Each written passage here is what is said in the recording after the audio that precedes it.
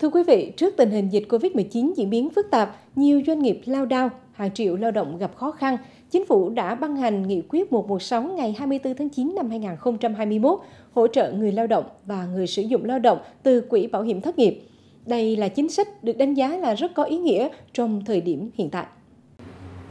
Từ khi đợt dịch lần thứ tư bùng phát, nhiều cơ sở kinh doanh như quán cà phê của anh Phan Anh Đức gặp rất nhiều khó khăn.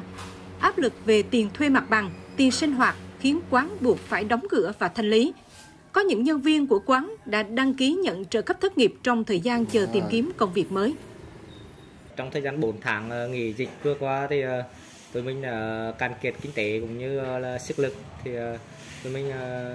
bắt buộc là phải đóng cơ sở kinh doanh để mà vì không đủ khả năng duy trì. Tôi có một vài cái thống kê có thể trên 90% các doanh nghiệp nhỏ và vừa hầu như tê liệt và dừng hoạt động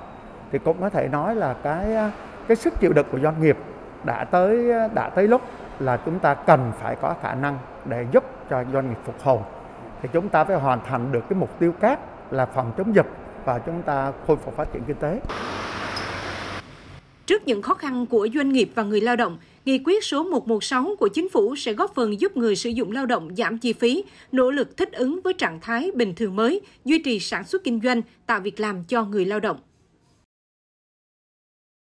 Nhà chị thì kinh doanh, uh, cho nên là cũng khó khăn nhưng mà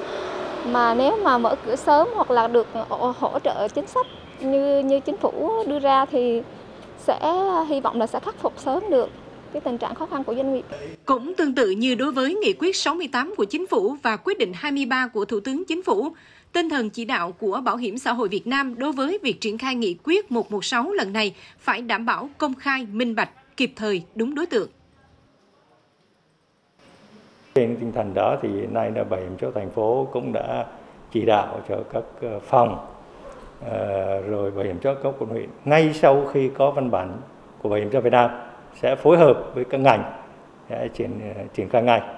và cũng sẽ chủ động phối hợp với sở lao động thương binh xã hội tham mưu cho ủy ban dân thành phố ban hành cái kế hoạch triển khai đảm bảo chính sách đi đi vào cuộc sống một cách nhanh nhất và kịp thời nhất.